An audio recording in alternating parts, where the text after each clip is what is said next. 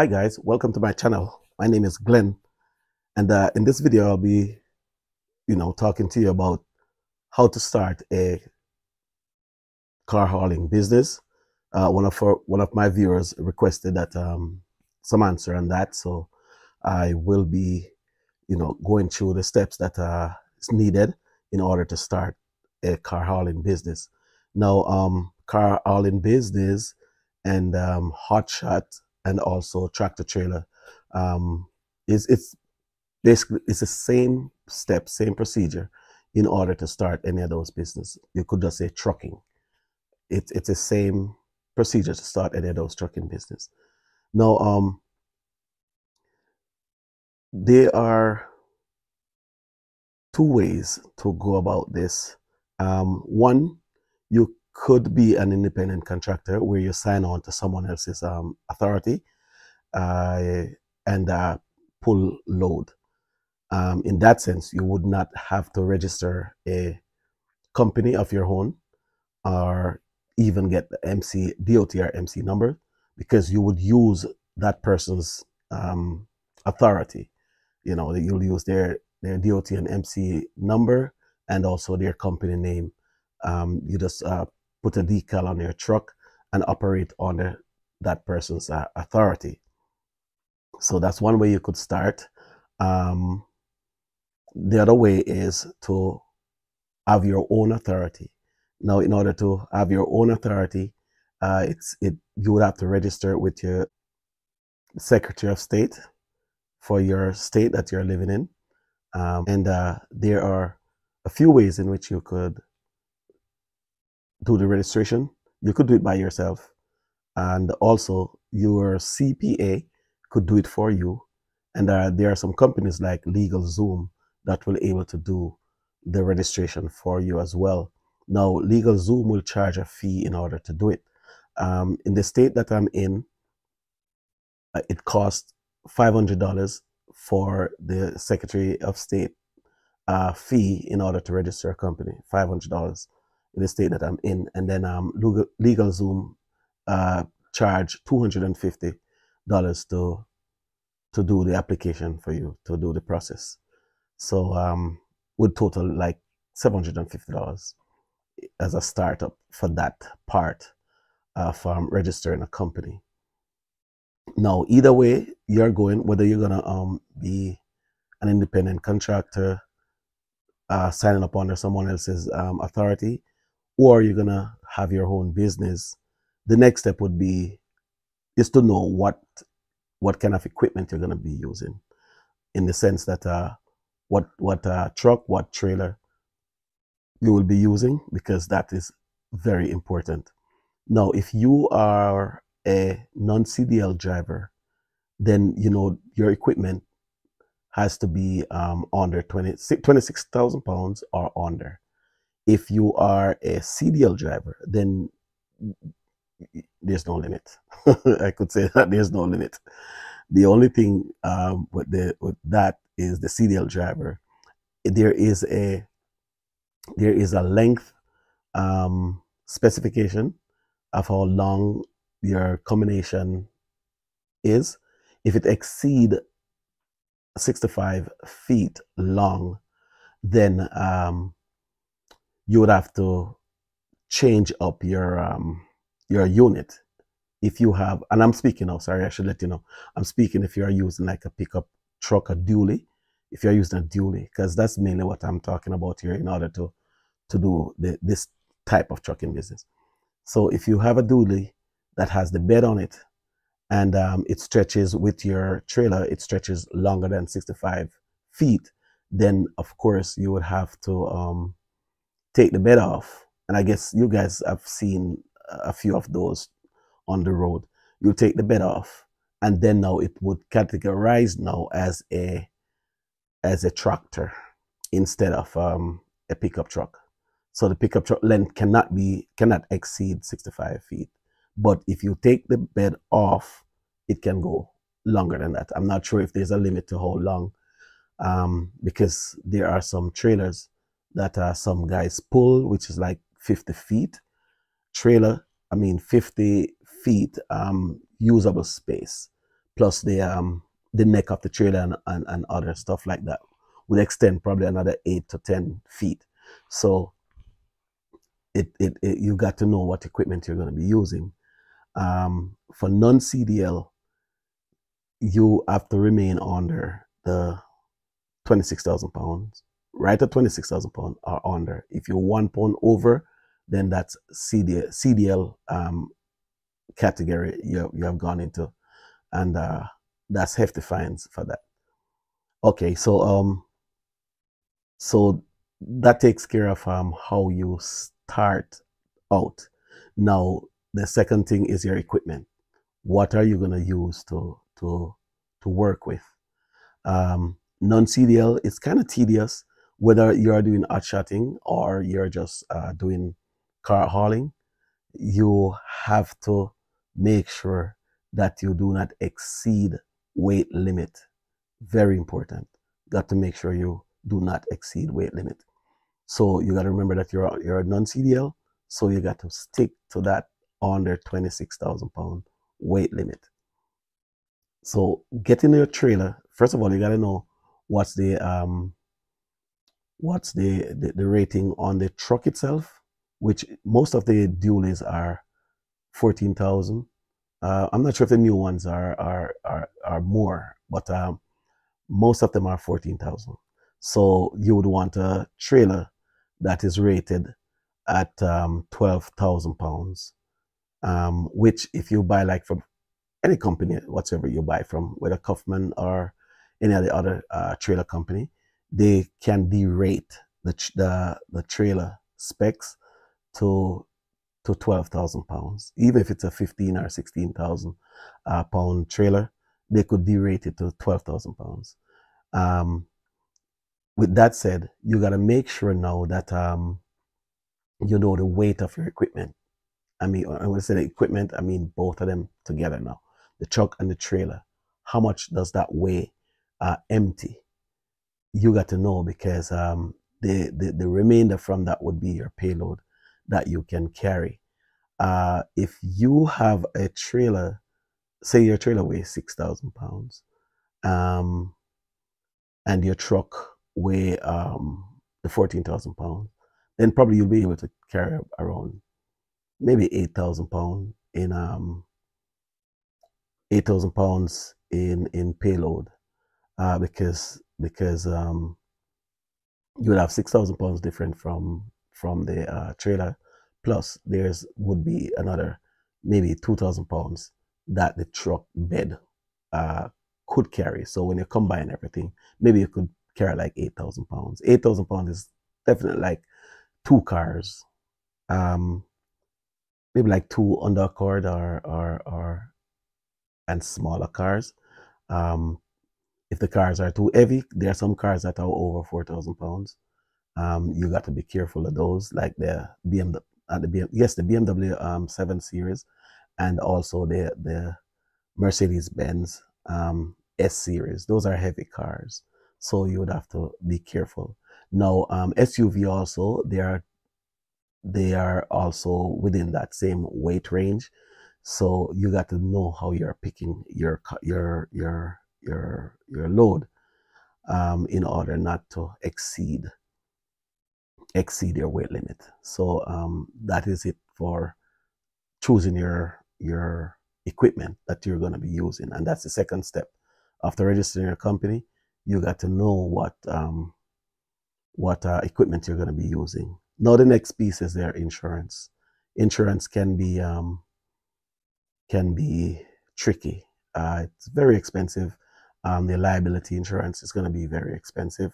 Um, you're going to need cargo insurance and um, liability insurance. There are some uh, load boards and stuff that requires um, not really load board, but like the, the, the, the, shippers and stuff require you to have general liability as well, but not much of them. There are a few that requires that. But uh, general liability is an add-on, so it's it's not that expensive. Maybe maybe between four and seven hundred dollars um, per year as the add-on for that for the general liability. But the liability is what is what the, where the expense is at, um, especially for new startup. It's pretty expensive Um, there are some companies that has like umbrella insurance that um, they will just put a lot of vehicle under one umbrella, so the rate, the insurance rate can be reduced, and it could be cheaper. Now, um, looking for insurance, liability insurance, it can span anywhere from like twelve thousand dollars to up to twenty thousand dollars. You know, depends on depending on your driving record and habits and stuff like that. Um, maybe credit score, I'm not sure, but um, a lot of things comprise together in order to to to give you um, a quote on your insurance. So it would be somewhere between twelve thousand and uh, twenty thousand dollars. Um, I see people pay. Uh, when I was pulling my um, my setup that I started with, I used to pay like about twelve thousand dollars for my um, my liability, and uh, another uh, two thousand eight hundred dollars for my um, cargo insurance, and I pay four hundred and fifty dollars for general liability because I just throw everything in because there are some companies, you know, that wants general liability as well. So I just just put it on so that um, I was able to pull load from from just about anywhere. So that's that's another cost that you have to think of your insurance. Um, the most expensive part would be your equipment, of course, your your um, setup, truck and trailer. That is going to be your most expensive part of it, and um, the second would be your insurance. Um, then uh, after that, uh, you are going to need to apply to the FMCSA for your MC number um, your motor carriage number, and um, you want to do uh, interstate and not intrastate. Interstate, that means you can cross state line any state. But um, intrastate, you got to remain within the state where you are registered. So you would have to do the intrastate. Usually this process take about two anywhere from two to eight weeks. And um, although on the website it may say six to eight weeks, but I got mine in two weeks' time. So I'm going to say between two to eight weeks. I'm not sure if that will work for everybody, but it works for me. So um, that's what I would say between eight, between two and eight weeks. Uh, you would have to apply for your MC. Um, you could do it on your own, but um, your insurance would have to accompany that because the, the insurance is, is the thing that keeps your MC alive. That's what keep it keeps it active. So you have to have insurance at all times in order to have an active MC number. If you if you if you um, cancel your insurance, then automatically your your MC is gonna cancel as well. So you got to do some shopping uh, to make sure that you have um, insurance that you can afford. Although some, most insurance company will ask you to pay, do a, a deposit, uh, pay down, um, you know, whether 10 or 20% of the cost of the insurance, and then they spread the difference over like a 10, 10 months that you would have to pay the, pay the, pay the difference to offset that. Um, which is not bad. It's a good thing. I used to do that because it helped. It helped me a lot because I, would, I, I could not come up with twelve thousand dollars um, right off the bat in order to pay all of, all that for insurance. So I stretch it out. You may pay a little, end up paying a little bit more because they're gonna charge you like um, you know interest and stuff, but um, it's not much more. But um, it it helps. So that's what I did. So that, that's the four steps in order to um, to start your own own transportation business um, trucking business, um, your uh, your business license, um, your equipment, your insurance, and your MC. Very important. So um, there you have it. But as I said before, if you want to um, if you want to to to work under somebody else's authority, you could. Um, there's it's not illegal. It's legal. Just that you have to it has to be documented on you know by the person allowing you to use theirs you know so you can start that way but as i would say one of the the things that um, allows you to have your mc is your insurance and if you're even gonna run under someone else's um, authority you would still have to insure your your, your equipment and um, both uh, liability and um, cargo. And if I just think if I have to do that to work under somebody else's authority, I may just do it on my own, of my own authority, I should say, because I I would have to pay, pay the same for insurance and it's just the same way. So the, the only difference is to apply for the business, um, your business um, license, which is another five to seven to eight, say eight hundred dollars, because depending on who, which company you get. If you do it for yourself, it's five hundred dollars. Um, but they may ask you for like um, a resident office and stuff like that, which cannot be your your address. It has to be some different address and stuff. But you can do it for yourself. Because uh, my first business, I did go through LegalZoom, but uh, the second one I did it on my own, and um, it's that's still active and everything. So, so that's what it is. Get your business license. Uh, get your um, know what equipment you're going to be using. Get your insurance, and uh, apply for your MC, and um, that's how you start your business. Uh, no, there are there are a few more things that I have to share, which I'll put in another video on um, you know, after after you start things to expect um, you know, your your um your um expense, you got to calculate your expenses, you know, fuel, everything, you gotta document everything, you gotta keep receipts because um when you file your taxes, you're gonna need these these stuff for it. You know, there are a lot of lot more stuff, or a few more stuff, I should say, that um, that accompanies the business.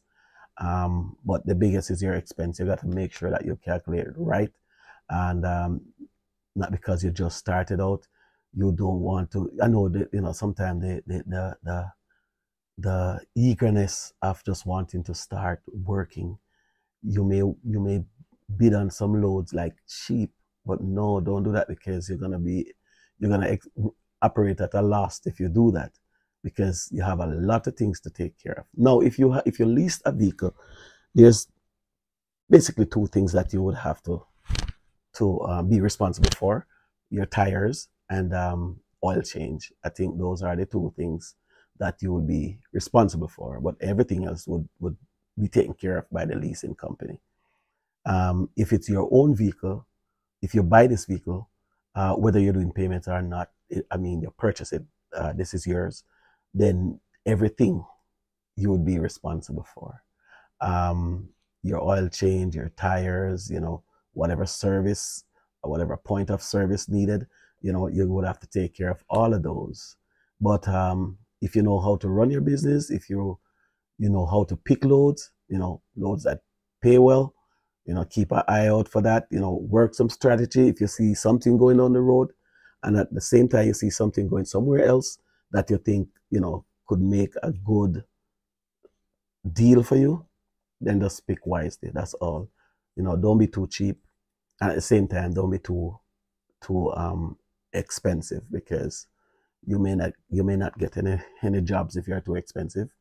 Um, and you don't want to be too cheap because you may operate at a loss and then you're breaking these brokers bad and you don't want to you don't want to do that you want to just be reasonable that you can you're in this thing to to make money. And um, just remember that. All right. So those are the four key points to start a business. If you have any other questions, you can let me know. I will try to answer those questions for you if or research it to get answers for you. But there you have it, guys. Um, keep that entrepreneurial spirit and um, just go out there, start your business, do what you have to do, and um, just make that money. Thanks for watching. Please like, share, and subscribe my videos. Thank you guys. All the best. See you in the next one. All the best.